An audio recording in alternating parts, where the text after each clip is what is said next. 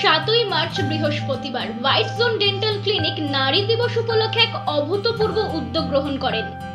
তারা acid attack মহিলাদের বিনামূল্যে দাঁতের চিকিৎসা প্রদানের উদ্যোগ গ্রহণ করেছেন। এদিন তারা বাংলার কিছু মহিলা এন্টারপ্রেনারদের গৌরী সম্মান দু হাজার চব্বিশ প্রদান করেন। এই অনুষ্ঠানে উপস্থিত ছিলেন অভিনেত্রী প্রিয়াঙ্কা সরকার লোকসঙ্গীত শিল্পী কৌশালী ব্যানার্জি, মিষ্টি শেঠ, তাসনিম ফাকরি সহ আরও বিশিষ্ট ব্যবসায়ী ব্যক্তিত্বরা। এই অনুষ্ঠানটি পৌশালীর গানে জমজমাট হয়ে উঠেছিল। Bureau report Q Bangla TV.